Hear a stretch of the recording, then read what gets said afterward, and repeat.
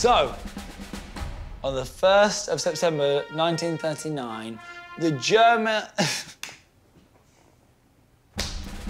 so, the German. so, the Germ Hill can. so, the Germans invade.